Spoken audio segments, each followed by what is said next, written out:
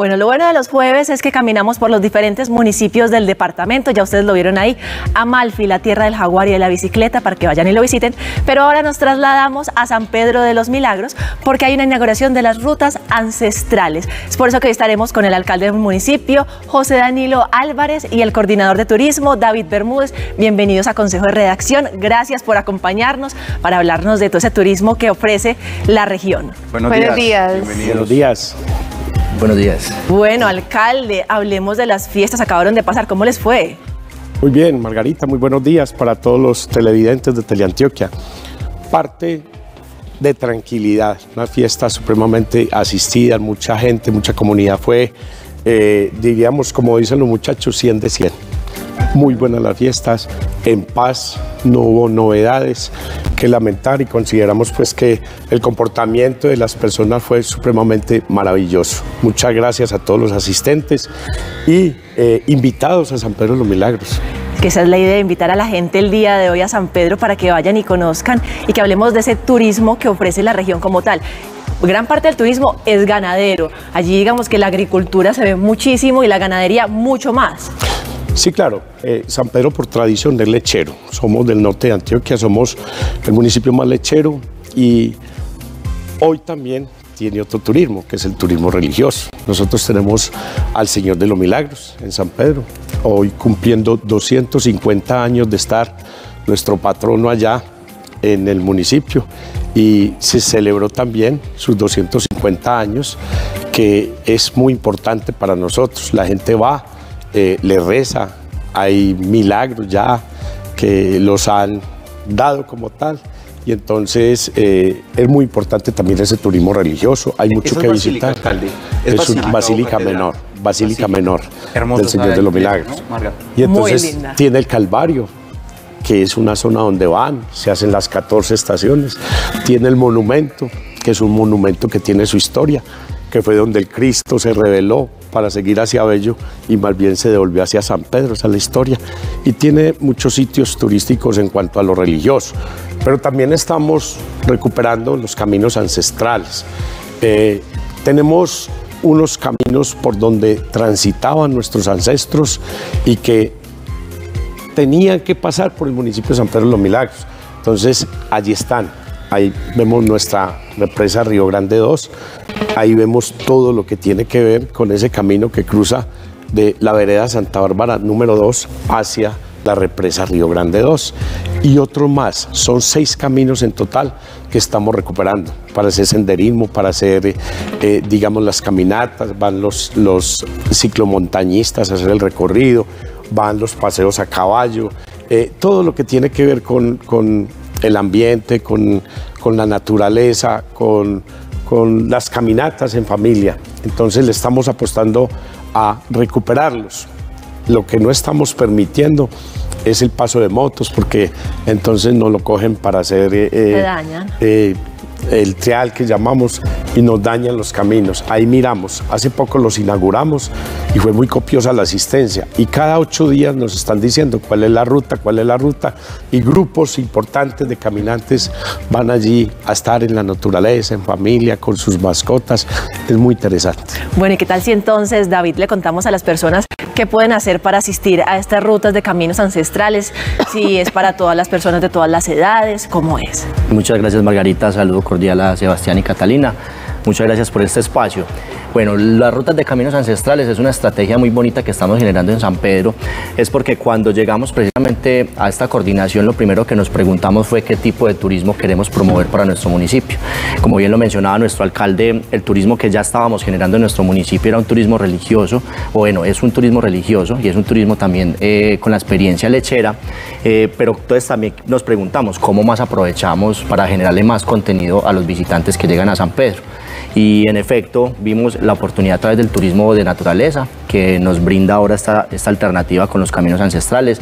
San Pedro eh, siempre hemos tenido ese reto de recuperar nuestro patrimonio. El patrimonio de San Pedro pues es lo que queremos nosotros rescatar, entender de dónde venimos, hacia dónde vamos y qué más que hacerlo con nuestros caminos ancestrales que son los caminos por los cuales nuestros antepasados, nuestros arrieros forjaron lo que hoy conocemos como San Pedro. ¿Todavía se usa bastante la ruanita o no? Porque el frío es rico allá, se paciente de Durito y en horas de la mañana. Claro, claro, Sebastián. ¿Todavía utiliza ruana? Sí, sí, claro.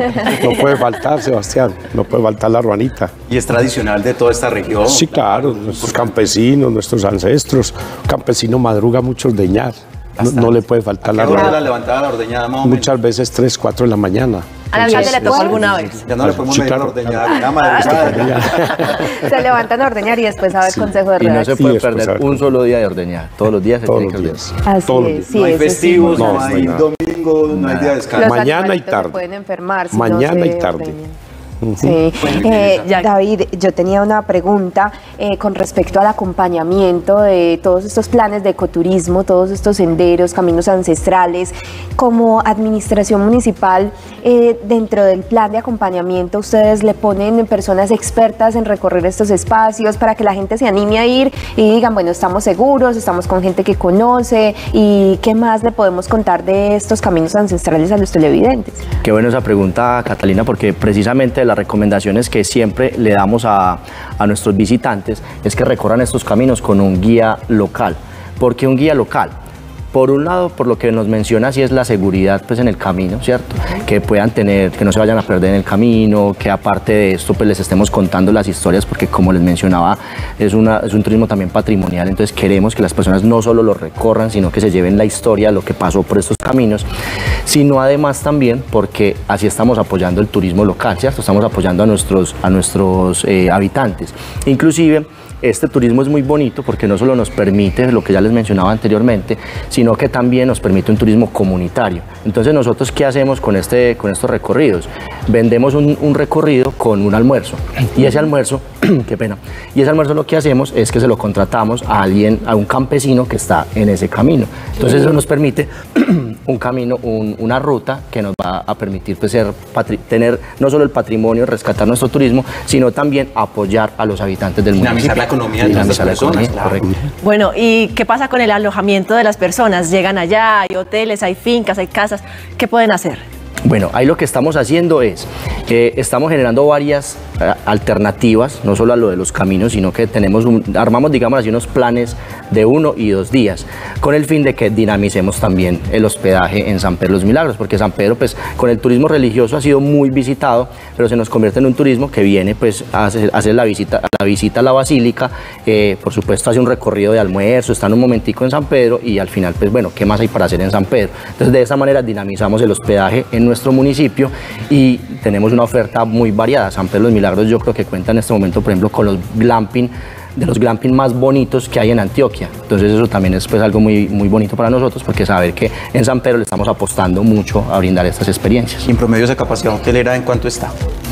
Estamos en este momento con capacidad hotelera de 320 camas eh, en, pues, en una temporada normal, ¿cierto? Eh, como contamos con hospedaje urbano, hospedaje urbano por supuesto es el primero que se nos va eh, como llenando la capacidad, empezamos en este momento a dinamizar ya las- los hospedajes rurales, pero eso es una gran ventaja también porque pues ahora pues, las personas que sobre todo vienen de la ciudad a visitar San Pedro, pues no se quieren hospedar en un hotel, eh, normalmente no se quieren hospedar en, en un hotel sencillo, sino que quieren estar es la conectados con naturaleza. la naturaleza, tener como otras experiencias. Entonces, digámoslo así que mantenemos constantemente una capaci- capacidad hotelera de aproximadamente el 60-70% dis- de disponibilidad. Bueno, y se ha preparado realmente a personas del municipio para recibir a todas las personas que llegan, sabiendo que la capacidad hotelera es bastante, me imagino que el turismo es enorme. Sí, estamos capacitando, eh, inclusive estamos ingresando a ese tema de la segunda lengua, del bilingüismo, para poder atender. Hay mucha expectativa con el turista extranjero también, porque eh, mu- mucho interés en el avistamiento de aves. Nosotros tenemos eh, un, un- una especie que es el, el gorrión paisa, que es paisa y que es de San Pedro de los Milagros. Entonces hay una expectativa grande con el avistamiento de aves, eh, nos llaman mucho, entonces hay que ir incurriendo en ese tema también del bilingüismo para poder atender los extranjeros que nos lleguen y tenemos, estamos capacitando a la gente, guías turísticos y todo lo que tiene que ver con esa atención importante para el turista que nos llega de todo el mundo. ¿Ya tiene plan para el fin de semana? No, pues ya Pero ahí tengo. Invitados. Ahora sí la tengo. No lo tenía, pero ya quedé agendada. Totalmente invitados. Yo me le sumo a lo del avistamiento de aves, Sí. me encanta y todas las vaquitas que mostraron ahí, yo me ofrezco para ir a darles comidas o algo. Para ordeñarlas desde no sé, temprano. no, cómo me vaya, pero, pero al menos garantizo que las vaquitas coman y que estén bien cuidadas. Inclusive, alcalde, tuvimos una actividad de avistamiento de aves en las fiestas de, de Sí. la leche. En el marco de, la- de las fiestas incluimos todas esas actividades. Eh, vamos a crear las fiestas del corregimiento de ovejas para darle un impulso económico a nuestro corregimiento. Eh, no solamente esto, sino que también ¿Y cuáles serían las fiestas de ese en corregimiento? el corregimiento tuvimos un concurso y nos dijeron que las fiestas del amanecer y el renacimiento. Entonces, ese es la- la- el nombre que le van a llamar a las fiestas de, de ovejas. Y ahí vamos a presentar el proyecto al Consejo y vamos a tener las fiestas de allá. También tiene exactamente lo mismo. Eh, por el corregimiento hay cuatro caminos ancestrales que vamos a recuperar. Eh, avistamiento de aves. En el marco de la fiesta tuvimos un equipo gigante. La gente va allá. Tuvimos un recorrido importante eh, de ciclomontañismo por el corregimiento de ovejas, muy ganador, más de 500 participantes, inclusive participantes extranjeros estuvieron allí. Entonces estamos apostándole a todo este tema turístico también en nuestro corregimiento y muchos temas más turísticos y hay que impulsarlo. Hoy nos dan una muy buena noticia por parte del departamento de Antioquia y es que van a empezar a impactar el, la carretera, la vía San Pedro que muchas veces se nos quejan de que la vía está muy mala para llegar a San Pedro. Ya hay un concesionario, ya hay una concesión, ya van a empezar a impactarla. Y esto es ganador porque quedamos a menos tiempo del municipio de Medellín y podemos tener una vía pues muy, muy, muy cercano a llegar a San Pedro de los Milagros. ¿Cuánto tiempo más o menos está demorando un alcalde para ir? Una hora. Una hora, Una hora. cerca. En una cerquita. estamos en San Pedro. vaya, Eso también. Ir despacio, no le Claro, a meter despacio. pues acelerador porque Claro vamos sí. despacio Y vamos de turismo. a Matasano es de tener cuidado a veces, ¿no? Pero no es por Matazán, es por San Cuando Cristóbal. uno sube por San Cristóbal. Ah, bueno, Ah, sí, sí, ingreso, por pero por Matasano también se puede ingresar dando la vuelta. Pero hay que dar la vuelta por Entre Ríos. Entre Ríos, Sí, señor. Por Entre Ríos, sí, Sebastián. Bueno, ya ahí ustedes tienen los planes para este fin de semana. Les mostré a Malfi y ahora San Pedro de los Milagros. Yo creo que me voy a apuntar también para ir a San Pedro. Tengo que ir a conocerlo. No lo conozco, pero ya quedé súper apuntada alcalde. David, muchísimas gracias por estar acá con nosotros. paso por Margarita. Sebastián, sí, Pasa claro. por San Félix. Pasa por el corregimiento de Bello. Ya, ya está bien. Tiene todo, el sentido, pasa uno por San Félix. Bienvenidos, invitados cordialmente a nuestro municipio. Muchas gracias, gracias, alcalde. Bueno, muchas gracias.